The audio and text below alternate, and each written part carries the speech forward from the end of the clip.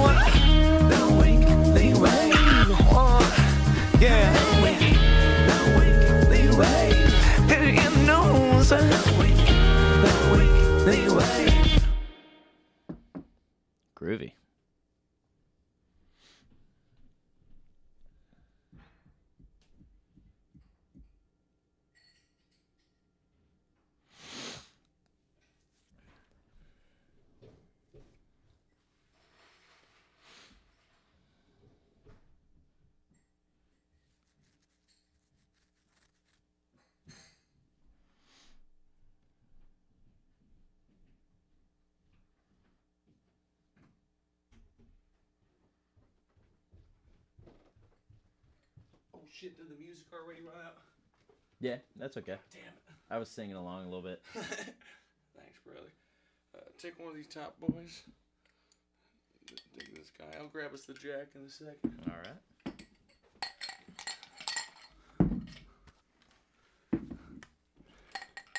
Kevin Finger fucking flipping my brother McClellan. I missed you so much, man. Oh, we're going right into it. Dude, we're going right into it. I mean, that's why it's running late. I'll get the jack here in a couple minutes once we're thoroughly involved. Excellent. Brother, I've missed you so much. I miss you too, dude. Uh, that wedding was a blast. I'm glad that you got down in the weirdest way. When, once I yeah, saw your hair weirdest. come down, that's when I was like, God damn, Kevin hasn't cut his hair at all. Nope. And he looked beautiful. uh, I don't know if I told you about this, but I, I promised them uh, pretty much right after we got engaged, I'll cut my hair to whatever length you want for the wedding. But after that, you're fucked. I'm doing whatever I want with it again. You're fine. I told her last night at dinner, I was like, I'd like to grow it out and donate it. She's like, Do you know how long it has to be to donate it? I was like, It has to be long enough to donate. Emily, I'm doing this. Like, I believe I believe it's uh I believe you have to cut off a full six inches. Which means it's gonna be down to like the middle of your back. really? I mean, if you want to keep it long. If I wanted to go to like a, a full short in length, I could get it down to like a little bit past my shoulder and bring it up to my noggin, right? Uh maybe. I don't know. I've only ever seen people like with a ponytail and they just like but That- maybe that's just for optics. You know, it looks it looks good when they can just like grab your hair and like get a get a big chunk like that. Well, imagine the sorting system where it's like, what do you do for a profession? I get bags of hair in the mail and I try to figure out if they're long enough and then I try to figure out what to do with it. Like making wigs out of human hair sounds more like a fetish than an It's occupation. absolutely, absolutely. No, you're getting weird kicks out of that. Dude, for, For sure. sure. and it's such a beautiful thing to be able to provide people that, but you know there's some weirdos on that end. Absolutely. Absolutely. Speaking of some weirdos, so you, you recently made this move to beautiful Nashville, Tennessee. Uh, Yeah. Has it sucked the life out of you yet? Are you happier than ever, Kev? Um I'd say some, somewhere in the middle. Woo! That's what we're talking about. Ain't no bowl of Cheerios, but there's a couple honey nuts. You know what I'm you saying? Oh man, got my hold on. There we go. It's kind of hard to get comfy on these in this chairs. stool. Yeah, Yeah, this stool. I'm pretty sure these tools are going to give me scoliosis at some point, so I will be getting nicer Probably. chairs. Yeah, I just I keep sitting. You know, let That's me raise ba- this up a little bit. that's your bass hunch, my, yo. I yeah, mean, my bass hunch. I'd imagine. Uh, what's the, the P bass is your your four string, right? You're playing a re- Uh, relatively light. Yeah, yeah. Um, playing playing it light. Oh, like the weight of the instrument. Yes. Yeah, uh, that that doesn't really bother me too much. Um, you know, I think I think all the climbing has my posture pretty Yeah, pretty intense. pretty good. Yeah, at least like you know having a lot of weight on my back doesn't really bother Yeah. me. What's it been like to find a new gym down there that you like going to? Um, it's been cool. I it just you know as you probably know about me, Matt, I'm not a huge fan of change. so I, I spent a lot of time with you in the car trying to get you comfy in different cities, man. I saw. I saw. That's true. That's true. Even like even changing the height of this microphone once I grew accustomed to it was a little bit much. Uh, yeah, so I I think like I always just I romanticize the nostalgia of of Cincinnati a lot. Yeah. Um, but you know, um, so the the climbing was the same way. You know, I Mm. still I still think uh, climb time around here is like the best setting of any gym I've been to, the best layout. But it's it's solid, Yeah. and uh, it's certainly. You know the reason I'm the reason I'm getting a belly is not because the gym is not good. Well, because I- I, live in a bar, basically. yeah, I'd like to think that you're getting fed at least on these gigs. I mean, like when I see Supper Club come up on your Instagram, I'm like, I hope that's dank. I really do. Uh, so we we get a deal on food, but no, we don't. We don't get. We get booze. Okay, fair enough. And So I, that is They're food that feeding. The, they're feeding us in some way. They're feeding our debauchery. Yeah. What have you found that like in a city like Cincinnati, when you go to the climbing gym, you are someone outside of the the normal circle of work. So these people just know you as another guy at the climbing gym. You have mm-hmm. like a, a separate identity there. Versus in Nashville, when you go to the grocery, you're surrounded by other bass players. They're working the same gigs. When you go to the climbing gym, it's other bass players. Like There, there's maybe not as many. There's still a lot of people that don't play bass that live in Nashville. I don't even believe you. I believe people come out of the womb and they're given three strings. They make their way to four. They make their way to five. They make their way to six, and they back up to five because you need restraint on the instrument. You know, I I know I know a handful of people that own six string basses that actually use all the strings. And I and I'm not mad when I hear it, but there's only a few, and I've met a lot of bass players. You need to be in such a reserved group, and I need to see you in a chordal capacity if you're gonna have six strings. Like, uh, is it Dirty Loops that did that awesome cover of Oh, Baby? Yeah, well, that guy, uh, what's his name? On Henrik Linder, Lindner, I, I think. Sounds Um, foreign enough for how he looks. Yeah, I mean, you you know the you know the guy. Yeah. Crazy crazy hair, uh, black fingernails. You know, like chain Yes. necklace. Or, he looks uh, like he's an like AFI necklace. I don't even know what that is. It's the band who sang Miss Murder, if you remember that song. Hey, Miss Murder, can I? no. Quite heavy, but it's it's the perfect like. Well, I guess the Misfits is probably a better uh, Okay. claim. Like Yeah, that, I can that see that. front V. Front V. But I think to to play that kind of monstrous of an instrument in such a, a reserved part of the band, such a fundamental do your job and get it done kind of. Mm-hmm. Yeah. Uh, I really need to see you practice some restraint before you go plucking up there. hmm What's been the weirdest? Um, what's been the weirdest musical change going from Cincinnati to a major market like that? Um, well, I would I would say it's twofold. Um, one, uh, in in terms of music, like playing, uh, overplaying is simply not tolerated. it's just you're done. Like you do that, you do that once, and like, all right, we'll call you. You can't. Your number's blocked. You, even, you can't get a hold of this man ever again. You either change your number, which did you change your number when you got down there to have a Nashville number? Uh, no, that that might have been that might have been clever. I might have fooled some people, but Well, Uh, I, I've heard a lot of people say that you need to have a Nashville phone number down there for people to trust that you're going to be spending the time down there. Like, hmm. I know there's kind of a glass ceiling. If you spend 10 years in this town, then you start to get the real work.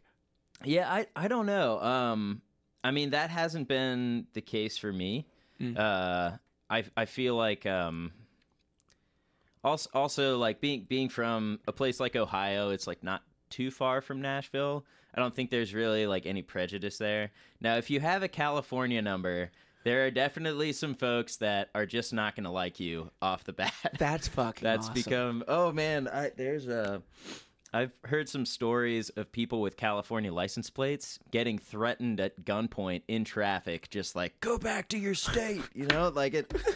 It's aggressive how much they hate California. Dude, imagine what that's like in Texas. Like places that are close enough to really feel like they've been swarmed by them. Yeah, Like Californians, yourself debatably included, are like yellow jackets.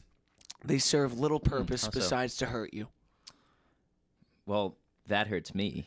Kevin, you were there for long enough to know that you're a problem. I mean, you made me a nice dinner one night out there, and I was like, I like him less. Then you came home, and I was like, I finally, like Kevin's back. No, you made us a beautiful tuna salad that night, and I was like, I don't know if I've ever watched Kevin make a meal, but I, he just gained a lot of love in my life. And then you played tablas for me. I was like, he's really gotten California. Oh yeah, Like, this yeah. Is, this let my deep. let my hair down, like put the dro- put the drone on, lit the incense, all that.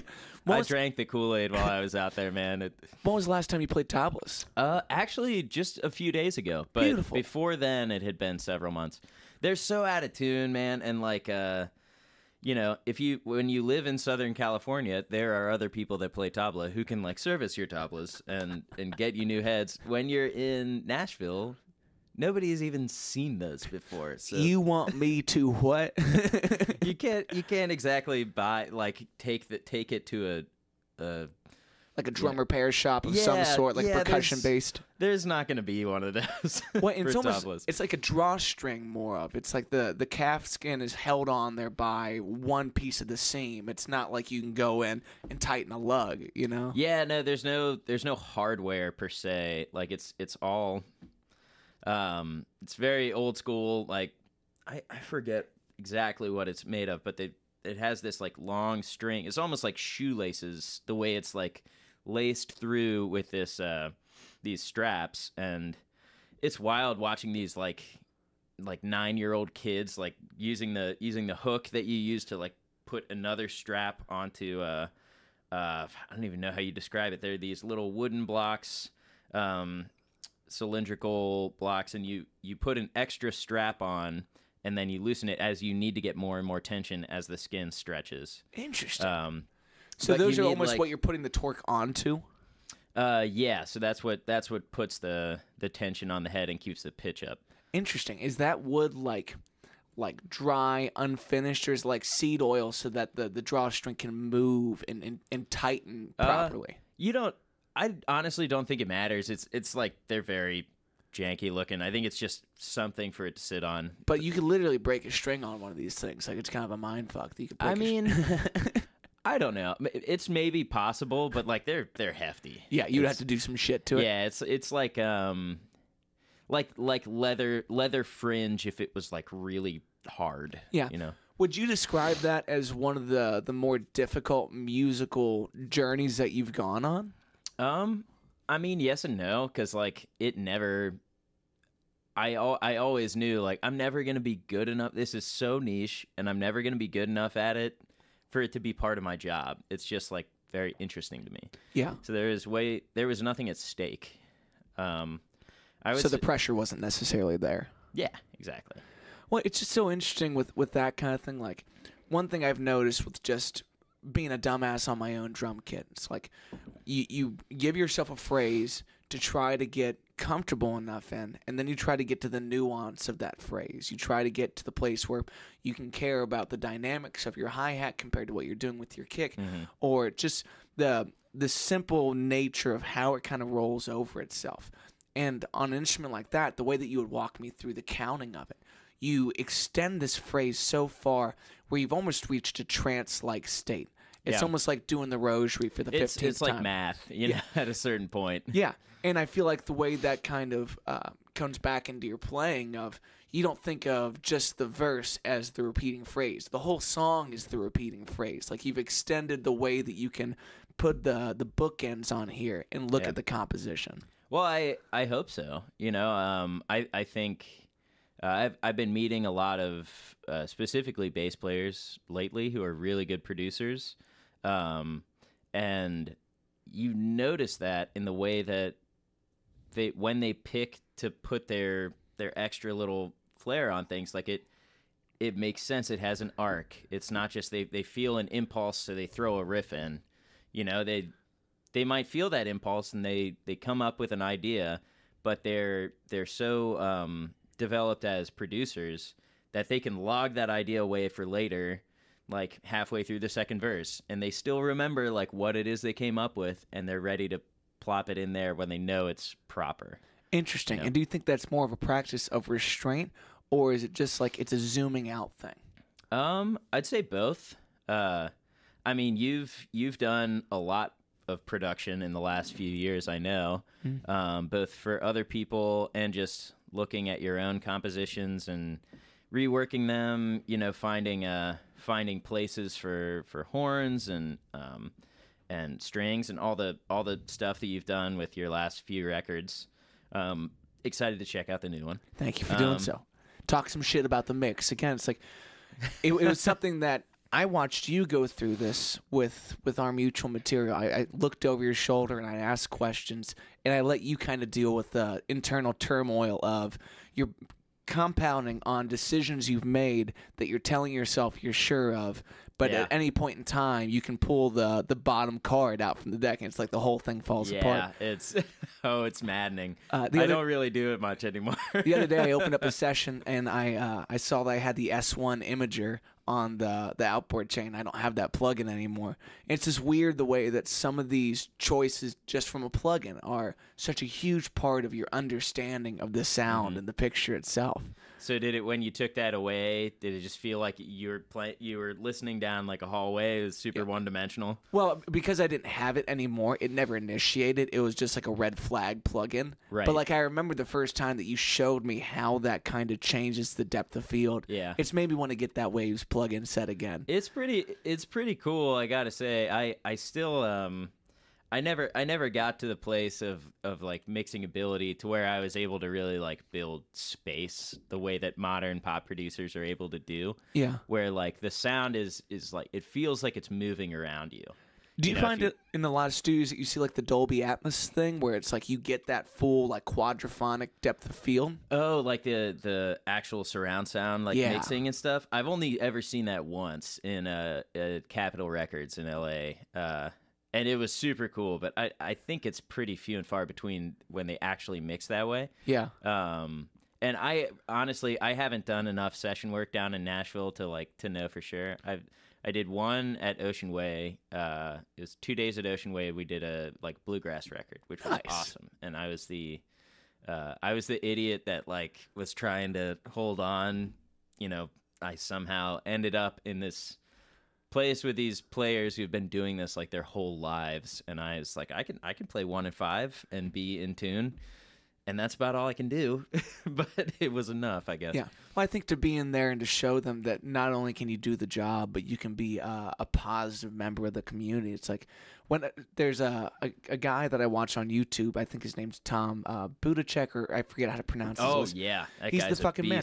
He, he's a Cleveland monster that learned every rock and roll record he could, uh, and now he does like these horribly produced iPhone videos where he just tells you the truth about Nashville sessions. Yeah. Uh, and he's well, a he is like that. top call dude. Yeah, exactly. Like you see him and Guthrie Trapp being in the room together for Billy Gibbons' uh, inauguration. To think like the BMI, like You know so much more about Nashville than I do. No, I, I, I watch just my guitar player's sphere. You're the one that actually lives that life, but I ain't going nowhere. They'd have to drag me out.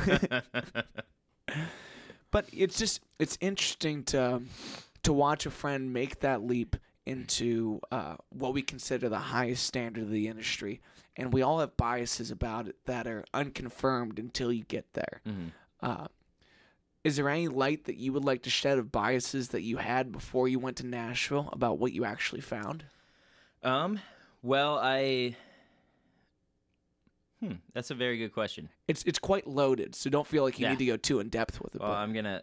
take Chug, a long chug. My friends, this is certifiably straight liquid Sudafed. Kevin's been given uh, a coffee that's mainly Nyquil. All right. Well, this will get weird. um. Yeah. So I. I think. I think any, anyone who, particularly who is a uh, who is a side man, because there there really is. Um. Well. Okay. I'm I'm gonna I'm gonna try to take a more narrow approach. So I'll I'll just speak for. Uh, as as a as a sideman, you know, as as just a player, because I, I don't I don't really write. I don't have much experience in that side of things. Um, as a player, I I assumed, and I think most people do, you put it on a pedestal of like leaving Cincinnati, even though really there are players here that are as good as anyone else. Um, uh, or at least at least players that on on average, I would say the musicianship in Cincinnati from the from the sideman is as good or higher than in Nashville on average. Um, you have you have so many people that go to these cities because we all romanticize it, who who are coming from small towns, like really small scenes where you know their high school band director told them they're a badass, and they took that to heart. And they show up, and they still have in their mind that they're a badass, and just so there there's a lot of people kind of who who don't have their their skill set together who are in Nashville, and frankly, they're still working because there's so much work there. Yeah. Um, And, and do you find that those players tend to be in like the um, the more grueling gigging roles that you find on Broadway? and- yes, and- yeah. most definitely. Which Um, you know, as much as uh, we can all look at those scenes and say, you know, it has its problems and it's it's not proper for the way that the musicians get treated. It's work that people sign is- up to do. it is work, yeah. and it it's uh, such a particular entertainment district that we just need to be proud that in a country like this you can make a living doing that. Mhm. Whether you need to bust your ass seven nights a week or you can do it twice a week and that's enough for you. Yeah. Um, no, definitely. Uh, but yeah, that that was like kind of the the fallacy that I found, and it's it's sort of true at that top level. Um, you know, you have you have the best guitar players in the world, and a lot of them live in Nashville. Yeah. Uh, but that's such a small fragment of the scene. Like you're probably not even gonna run into those guys. Like you'd have to you'd have to know where they're hanging out and go out of your way to find them. Uh, but um, but yeah, like the the everyday gigging musician, which is the category I would put myself in. Um, I would say there's there's you know there's there's more players that that play at that at that high level, but the average person is just as good here. You know, if you look at the if you look at the the Devin Lays and the Nick Hacks of, of the drum world, you know the guy, Yeah. guys are just just super solid, and um, you know they they might they they're probably playing like good number of wedding gigs, and they're they're playing their church gig in the morning. It's like you know it's the standard sideman fare. Yeah. Um, It's just a bigger market and a larger GDP kind of a thing. yeah, there's just there's just more work, and uh, at least in some circles, pays a lot better. Yeah. Uh, but as far as like as far as the musicianship goes, I th- I think we, um, myself included, kind of forget how strong the scene is in Cincinnati. It might be small, but the musicians are very good. Yeah, well, I think it's um, it's such an important testament to make when someone like yourself can say that because everyone in this city is, is proud of of you and your playing and your ability to go somewhere else and uh, really stand as a shining example of you're gonna do whatever the fuck you want. We've all known that about Kevin McClellan. you, you kill, you know, and um, when you look at something like Nashville, you'd imagine that it's like you need to play at the highest level to get these gigs, but it sounds like it's more that you need to abide by the don'ts of the gigs oh yeah, because the do's are pretty simple. Learn the songs, get the charts, uh, be an easy hang, uh, and hopefully, as you learn new uh, standards of industry, if you ever did choose to come home, those are standards that we can learn from around here. Like Mhm. I, I've said to many people on this show, I want to see the GDP of Cincinnati's music scene rise so that more people like myself can continue to make a healthy living and have a family Yeah. and represent the players and the scene that they want at the top level without breaking their back every night of the week in a bar that they don't want to be in, like I tend to do sometimes. oh, I remember. I'm still here for I it, was brother. there. Yeah, man, I was there right right there with you.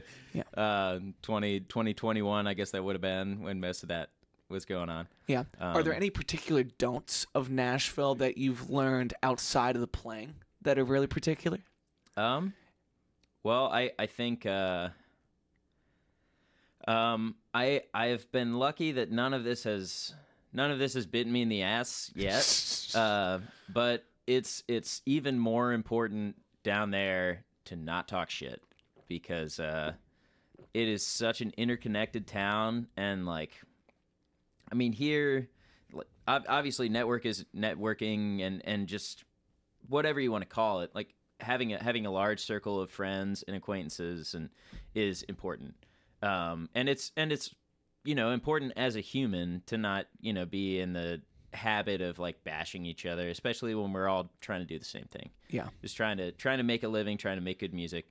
Um but in nashville it's like the the gossip train is quick Yeah. And and it'll it'll get back around like if you've been mouthing off. Uh, um, I've had a I've had a close call before where I started to kind of complain about a gig that went that went wrong, and I uh, kind of caught myself in it when they started talking about a mutual friend that I I know also works with this artist, and uh, and I was like, oh well, if he's doing a lot of gigs with them, he probably doesn't have this same issue, and I should shut my mouth right now. yeah, and, and that's a, a great thing to be able to learn because um, there's something about geographically where Nashville lays. It's like as much as it is a huge entertainment district, it's a small southern town where you Mhm. shut the hell up. You don't talk about their God. and You don't park in their driveway. Okay, you you know, you take your horse to my home. Okay.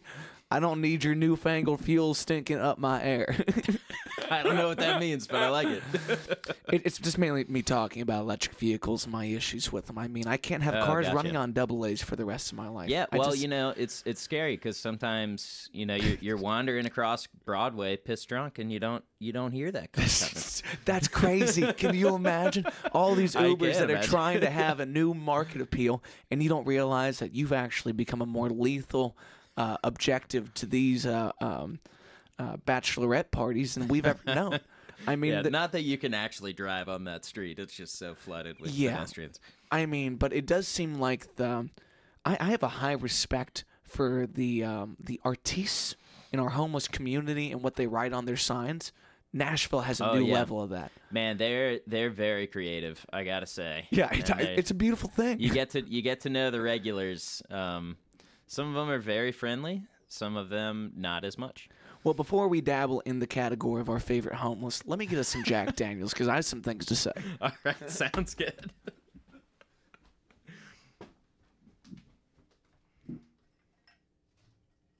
Nope. Too much ice. Too much ice. Oh, a fresh bottle. Yes, this was a gift from my Trying to kill father for my wedding. Uh, we're not going to finish it, Kev, uh, but it's going to finish you. Okay. so let me tell you about a man. We'll call him Steve because that's what he told me his name was, but I don't trust that. Uh, Steve was always my favorite homeless guy down at the banks. Uh, it's not like he would listen to my sets, but he was always walking by and give me a thumbs up, and that was enough for me. Uh, and he never walked up and said, "Hey Matt, I need five bucks." He would always walk up and say, "Hey man, I'm having a tough night," and then we would chat for a little bit. Uh, he'd always offer me to smoke a roach with him, and I'd be like, "Steve, I know you found that. I'd rather not. Thank you so much. You're a saint." I know you found that on the street. I've got you, I've got you covered if you if you're that desperate. I rolled him one doobie for his birthday once, uh, and he really never forgot about that and, and decided that roaches were the way to pay me back. And I was like, Steve, I really can't do this with you, brother. Uh, it was super sweet of him. One day, Steve just stopped being around, and I was like, I don't know what happened. Hold on. Cheers, brother. Cheers. You were missed, Kev. Steve just stopped coming around, and I asked one of the the other delinquents that I love down there, who let's call him Mark because that's what he claims his name is, and that's what people know him as. Um, again, I don't know shit about these guys. Uh, I said, Mark, where's Steve been? And he goes, Steve's in jail. And I was like, for what? And he never told me. And then two months later, I saw Steve again. I gave him a big hug.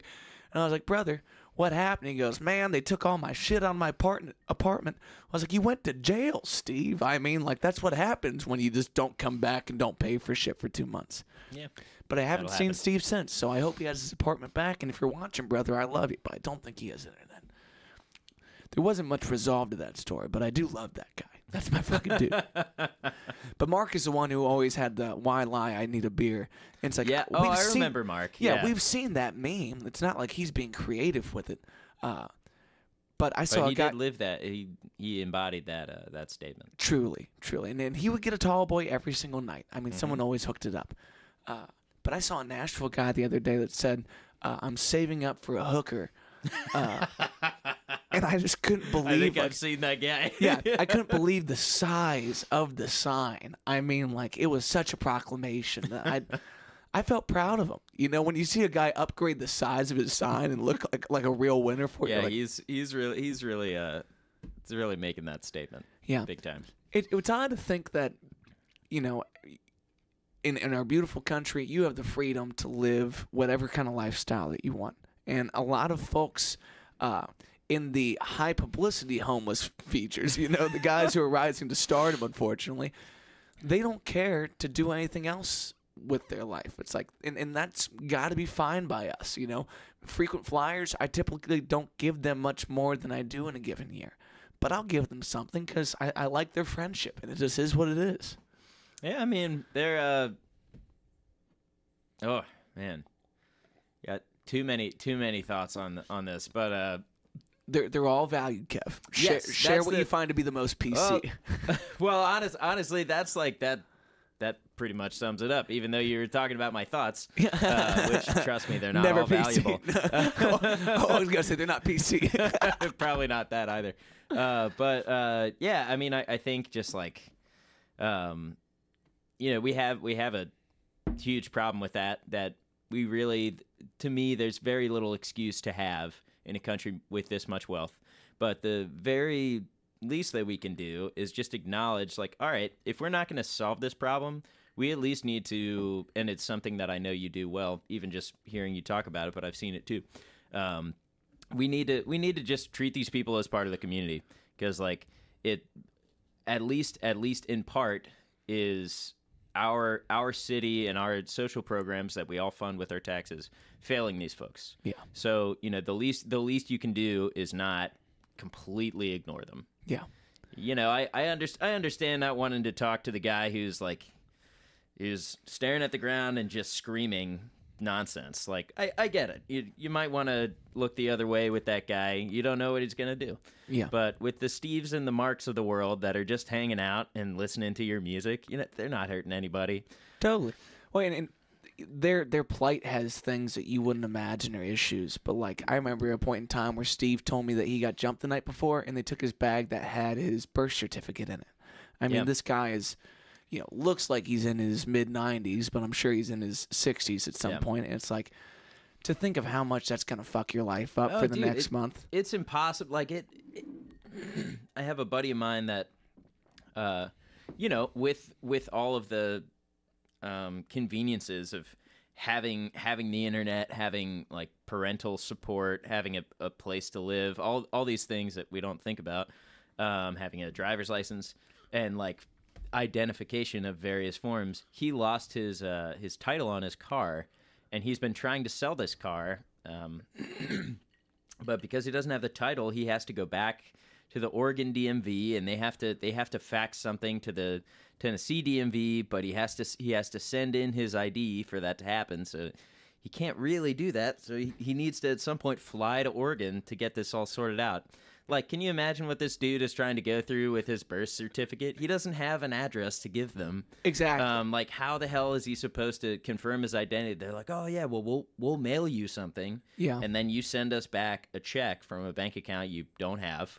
Um, no, we don't take cash. Yeah, can't exact- Make, can't mail cash. So then you go to a Um, predatory check cashing place that's going to take your 15, 20% off the top, and then you're having to pay for a flight to go back to Oregon. Like all the unnecessary hassle of being caught up in the bureaucracy of people trying to make sure that all the checks and balances are done right. It's like at a certain tier of things, you are really SOL for a long Yeah. time. Oh, dude, yeah, just just losing, like with this guy losing his birth certificate. Like, what do you what do you do? Like, he, just to have, or or if uh, if you don't have if you don't have ID, you know, if you're if you're trying to get government assistance, um, you know, like I I remember a few years back, you know, it was probably during the pandemic or just after.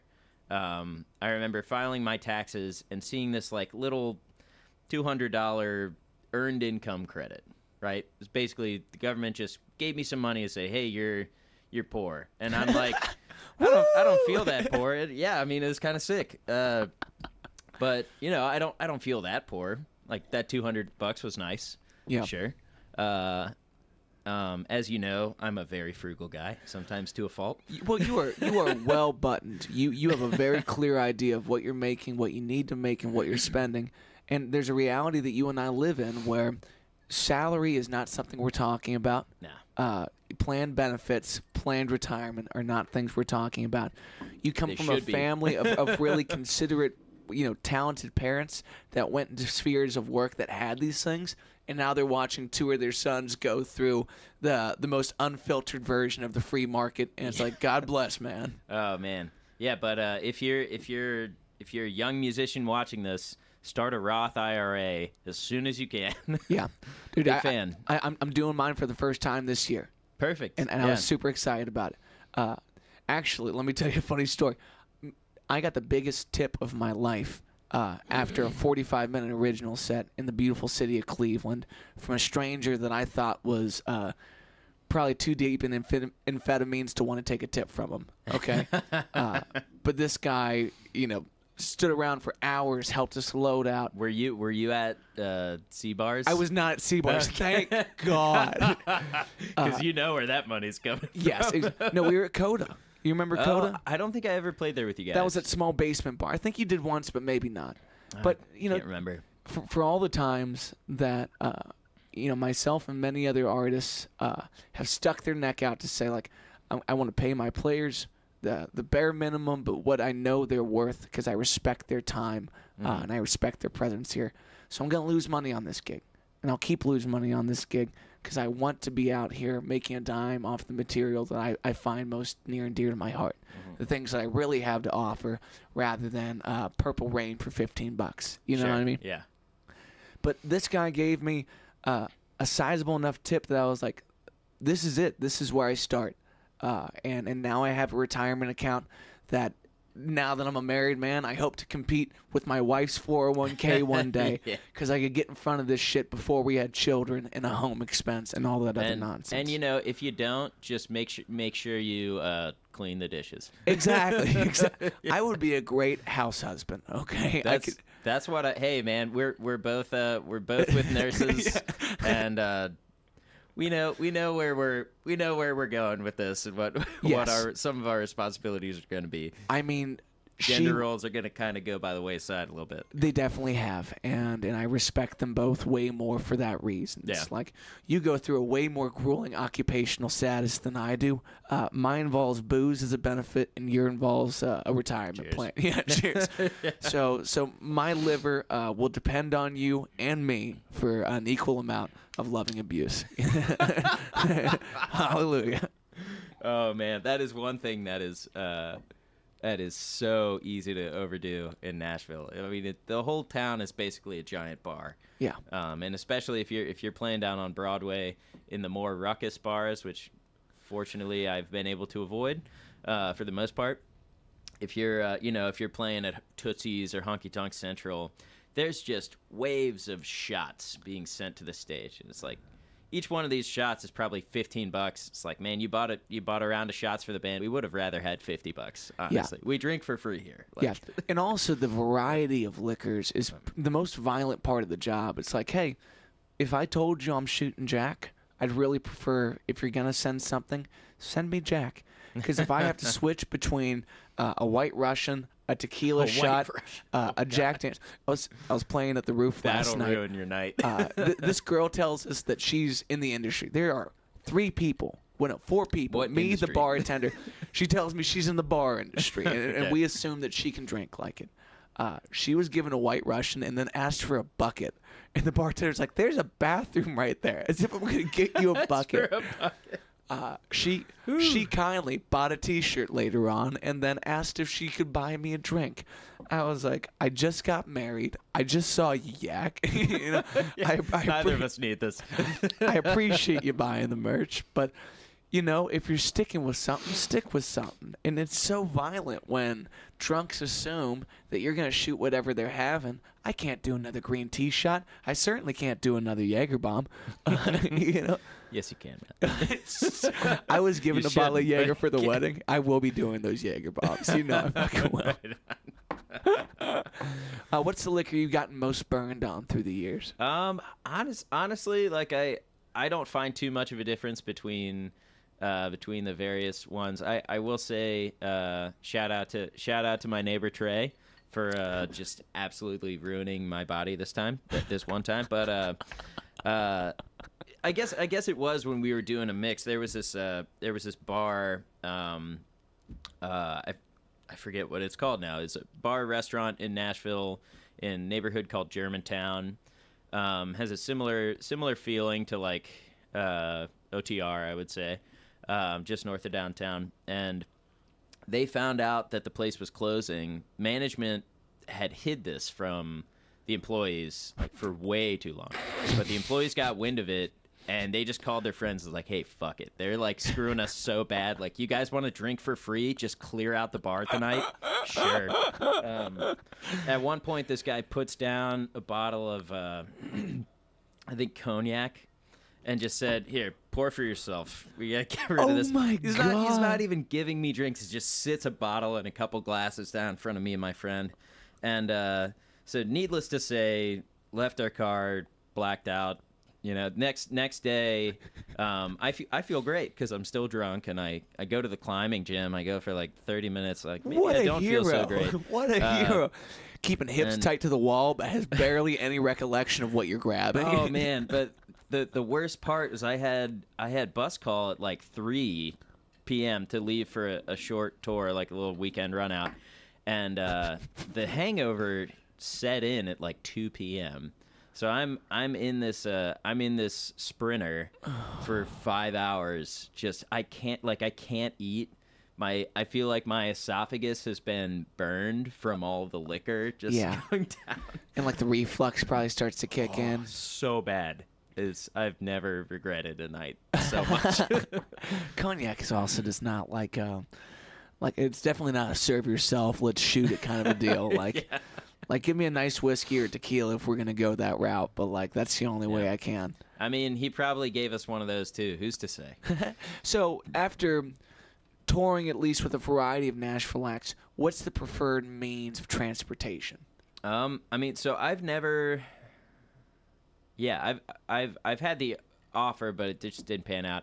I've never done like the bus the bus tour The, thing. the bus with the Um, coffin rack for Yeah, exactly. With I, I don't think I would like it. You know, the only benefit to a bus is that you drive through the night. Um, hopefully you sleep, and then you, you wake up and you actually have some time in the city. Because like you know, touring is cool because you get to see a lot of places. But um, for minutes at a time.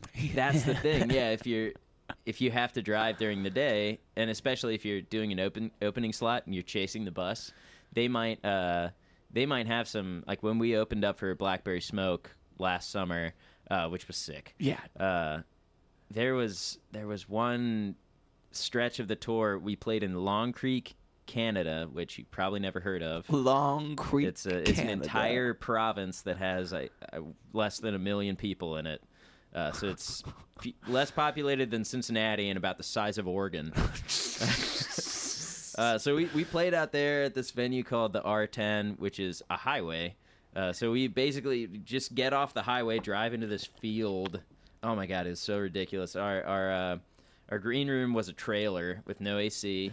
Oh. Um, this is i mean it, fortunately we're way up north in canada so it wasn't too bad but you know this this guy with these like oakley sunglasses rolls rolls in you know uh talking to us like hey hey guys how you doing uh welcome to welcome to canada eh? and you know uh we we got we got a little uh a little welcome gift here for you he hands us like 20 pre-rolled joints nice. like it because he knows that we couldn't bring our weed across the border, uh, or shouldn't. Yeah. Um, Amen. and uh, yeah.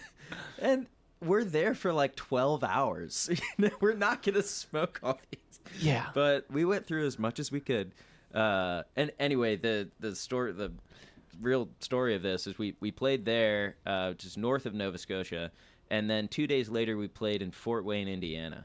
So, like that was how wild this routing was. And you know, if you have a professional bus driver to do all that for you, it's one thing. But uh, we just had this dude Los, who is who is awesome, uh, great driver, never runs out of energy. But you know, he's still he's driving this sprinter across across the country, just like you know. Um, nah, I won't say that. Throw him under Yeah. the bus. Yeah. But But it, it, it's a tough thing. Like you know, I- you and I had always been in, in cars together where one of the four of us is going to be driving, and we're driving in shifts. And It's like everyone feels a little uncomfortable at times with whoever has to drive because they know the um, the severity of what they've been going through. Yeah, and just like how tired everyone is Yeah. by the end of the run. Versus in Nashville, you have folks that literally are professionals at this thing, but the lifestyle of one of those guys is so brutal. I mean, Yeah. it's caffeine pills and pilot coffee, uh, and and they live and their then you don't want to know what else. Yeah, You don't exactly. ask.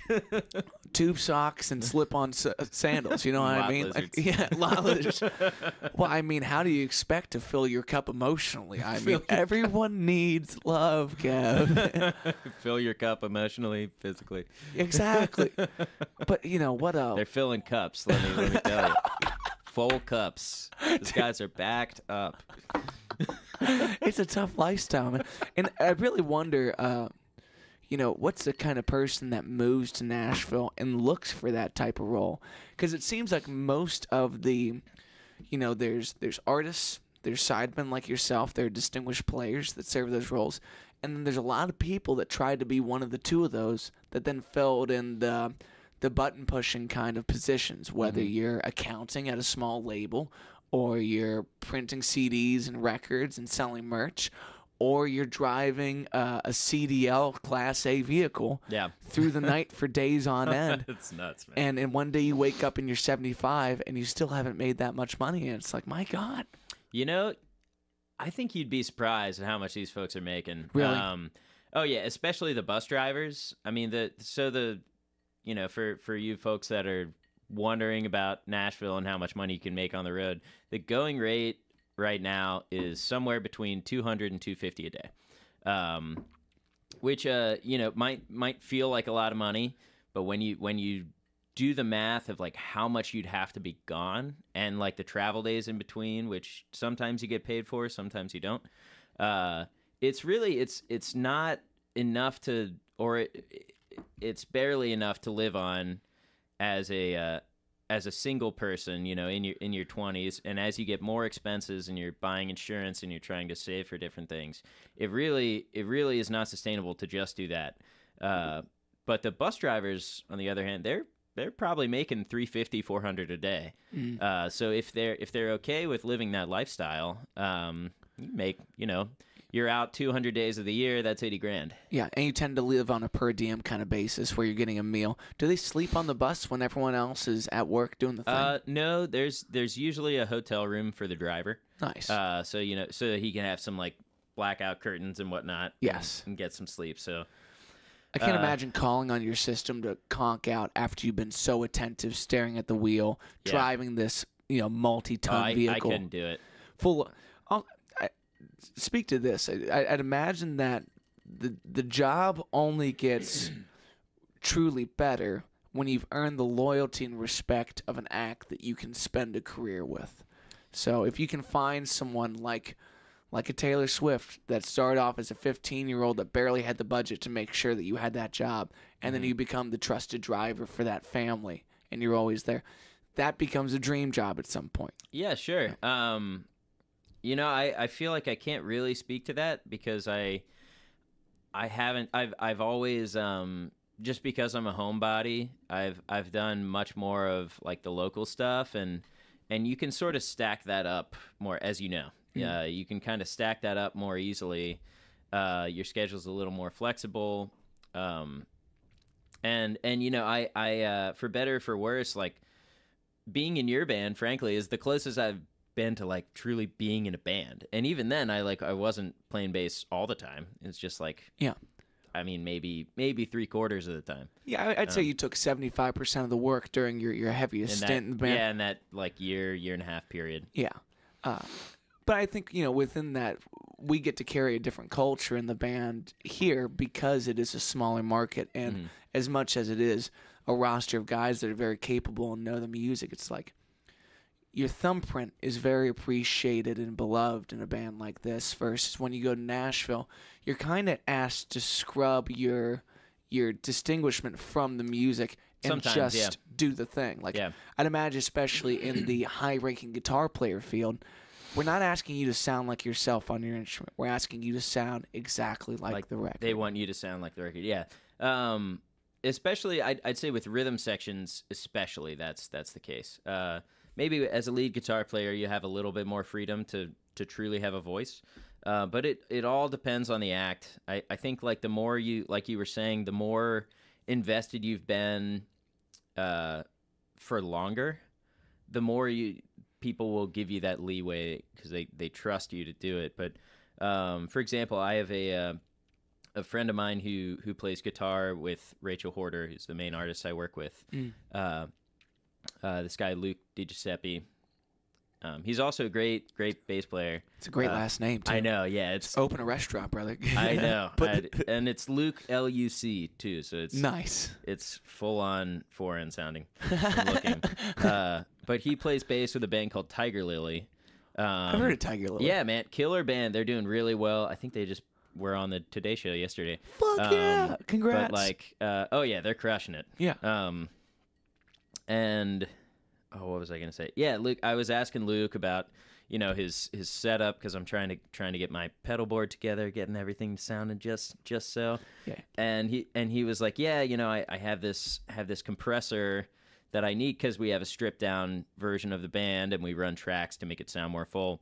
But I need my bass to just sustain forever until I stop fretting. Yes. Um, and uh, and he said, yeah, well, that's just what the record does. And they, you know, we run we run it to a click. They want like the singers, uh, the two lead girls, fantastic vocals. Uh, they want it to feel like the record because that's how they're the most comfortable and are able to deliver the performance that they want. Uh, so yeah, Luke is Luke is playing pretty much the same part every night. Mhm. Um, and yeah, I mean it's it's honestly it's it's really cool. It's like a it's a unique challenge that we probably don't do as much in in a town like this. Yeah. Um, but where where there's more like true bands, you know, like uh, versus versus an artist and then whoever they decide to hire for a tour. Yeah. Well, it's interesting. Like with with you in the band was probably the closest we ever got to true meticulous fashion of start to end. This is how we run it. Our our three Sorry parts tight. No, you were, Kevin. You were such a, uh, an amazing member of this band, and you always will be a part of this band whenever you want to come back and be uh, a part of this band. But at any point in time, we're going to call to go into the weeds and have a good time. Uh, and I like to think that Nashville has the players and the capacity to do that. But most of the time, it's the length of the set in some of these fashions that's like 25 minutes is 25 minutes. Yeah. And if we go off script, then we're going to end up at 27:30, and that doesn't work and out then here. and then the uh, yeah, and then the headlining act, their tour manager will come up and chew you out for 27 and a half minutes. Dude. that actually happened to us the first the first night of uh, of the tour with um uh, with Blackberry Smoke. We went about 90 seconds over, and this guy was livid. That's tough. It was the only time we went over the whole tour, but he like he came up to us like to to the band and really chewed us out. And Eli- Elizabeth Cook, who was the artist I was out with, you know, she's got she's got a lot of clout. She's she's been around the block for a long time, and when she got wind of that, she she laid it down with this guy. He's like, "Hey, you can't talk to my band this way." Yeah. And from then on, he was like super cool and nice. But I think he, you know, tour managers are ha- have to kind of be the hard ass to keep the ship running while everyone else is partying. Yeah, I mean, someone has to play the bad guy, and in a market like this, where I'm the band leader and unfortunately I'm the one playing the routing, and I'm putting the money up for a hotel. It's like sometimes I have to look like the bad guy, and I don't do a really good job of wearing that hat. Versus, you're paid as a tour manager to be the one that lays down the law, that Yeah. gets things done on time, that collects the cash at the end of the night, that does everything that a Type A, uh, almost unincluded party would do. You're you're Yeah. the arbitrator of this deal. You're the you're the parent. Yes. you're the parent of a bus full of children. Yeah, and if you're good at that type of role, I mean, those are CEO type people that are very They capable. They make a good living doing that. yeah, and they should. Mhm. Uh, but it, it's just so interesting to see the way that uh, when you have uh, a market of that size, the standards of industry define these roles much clearer than if you have a band out of Cincinnati that has a tour manager. It looks like what our band does, where it's like it's just a buddy that's wearing the hat and he doesn't know what he's supposed to do. And he's he's hanging out he's hanging out and carrying on just as much as we are. Exactly. So I'm probably gonna still be the one to collect money, and I'm hammered at the end of the night. It's like, Uh, there, there's a particular gig that I've been trying to get back that we played up in uh, the Arlington area. That like I I, Oh, I remember that club. I love yeah, this gig, but It was great. I got too turned to tango, uh, and I probably made a bit of a fool of myself oh at the end no! of the night. So, so I haven't gotten the gig back. But when you have someone in that role, you don't have to worry about two turned to tango. You can just have a good time and let it right. fly. And then the other, the the person, the person wearing the so so-called suit and tie. Yeah, Uh, exactly. that's probably not a suit and tie. It's a staff T-shirt with the same logo on the back. You know? Yeah. oh, the staff T-shirts. I forgot. the band blacks. Oh you know? yeah. Uh, yeah, that guy. That guy can be your professional front. yeah, So it's still everything still looks all buttoned up, and then you can kind of do whatever. exactly. Uh, what's it been like to relearn um, a comfortability with turning down as much work as you probably have to turn down in Nashville? Um, well, I'd say I'd say I'm still in a position where, at least at least with original gigs, like I, I definitely, uh, maybe more so now than six months ago. Uh, I'm definitely still taking like whatever I can. Mhm. Um, just like, and sometimes that means I have a very grueling day. Like I did, a, uh, I did a, I did a triple, um, which in in Nashville is usually three four hour gigs, uh, with hardly time to eat. Yeah. in there. Uh, I did a triple once on a on a Friday. You know, starting at 10 a.m. Uh, I think I did like 10 to 2, uh, 4 to 7, and then 8 to midnight or something like that. Christ. Um, yeah, it was ridiculous. Just absolutely wrecked myself. But uh, you know, it's it's kind of worth it for to me right now. Um, I have I have a, I'm very fortunate to have a lot of good paying steady work uh, with just a, a handful of artists. But the more you do that in a town like Nashville, people just forget about you Mm. and they're like, "Oh yeah, Kevin's doing like that thing." So we're not, you know, you're not you're not going to get calls to do new things unless you're like around yeah. because there's so many people moving there. There's so many people like coming off the road. You know, you everyone gets fired from a gig eventually. Uh, so you know, somebody somebody loses a gig. I mean, it's happened to me. Yeah. Uh, everyone loses a gig at some point, and then they and then you're back in the scene, and you're like hanging out. You're like professionally cool. You're Yeah. hanging out. And- Uh, and what's that look like? Going to the clubs where you see players that you admire, and you're you're listening with folks that are in your peripheral and can offer you work that they had to turn down. Uh, yeah. I mean, that's especially for bass players. That's like the way to do it. I mean, I get and and have uh, gotten over the course of being there. Probably seventy five percent of my work was funneled from another bass player, and then that person got too busy, and I I either took over the gig or just was subbing it more and more. Mm-hmm. Um, yeah, but I I think it's it's the same as anywhere. You know, like you you go out and you show you show support in the scene, and people will support you. Yeah. Uh, and it's it's really based upon that. It's a very communal place. L.A. is a little. You kind of have to like. You have to Strong hand a little bit. yeah, you have to fight for the work a little bit more there. Not that uh not that you can't find your circle and then they'll all help each other out, but it's so oversaturated with players compared to the amount of work there is that you know, somebody who doesn't know you well just because you're a good player, they're not going to give you a leg up. Yeah. Uh, whereas in, in Nashville, I think if you're a if you're a nice guy and you take someone out for coffee or lunch, and just to pick their brain a little bit, they'll remember that. They'll appreciate that, and you know if they ever can't make a, a shift or something downtown, like they'll they'll throw it your way, and if you do well, they'll throw more your way. Yeah. Well, it, it's again, there's standards of industry that you need to look at and evaluate whether they're things that you would like to reinforce in your own hometown or not. Uh, and I want to see Cincinnati's scene grow to have um, the type of industry that respects each other, that supports each other, that Mhm. says any bar that's willing to put up a, a space for the stage deserves to have great acts to help the bar make money. Mhm. Those acts deserve respect. Those acts deserve listeners. Like, above all things, if you came out to see my show tonight, I want to tell you about more great music that you can see tomorrow night. So you don't have to come see me again. You can go and feel like your your dollars and your time are worth c- committing to local Mhm. music. Yeah, I mean, there's there's so much. Like I was saying earlier, there's uh, the standard of talent and musicianship here is is on par on par with just about anywhere else. Um, you know, they they might not be as well known, but like, damn, they're good.